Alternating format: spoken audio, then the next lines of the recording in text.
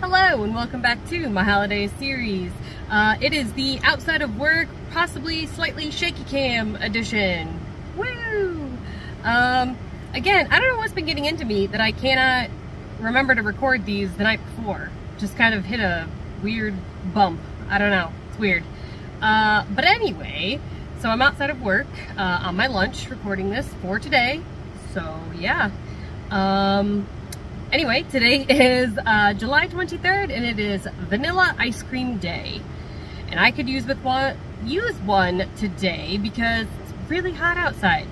You may say, hey, take your sweatshirt off. But then as soon as I go inside, I am freezing. I have a heater on half the time when I'm at work. It's so cold. But anyway, vanilla ice cream, it's good, right? I I like vanilla ice cream. Uh, some people say it's base or there's no real flavor to it or it's plain. Plain is not the right word to use for vanilla ice cream. It is vanilla. If you wanted plain ice cream, that would be like milk flavored, right? Because ice cream is milk, basically, and sugar and whatnot. Um, so when you add the vanilla, you are adding a flavor, right? Right. So, uh, I do like vanilla ice cream. I do like vanilla ice cream with stuff in it.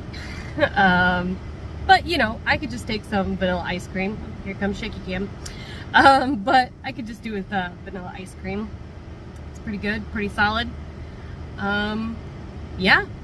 So, we're gonna end this one here.